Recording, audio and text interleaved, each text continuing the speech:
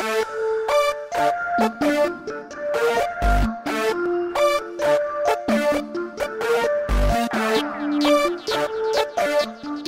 just got one question.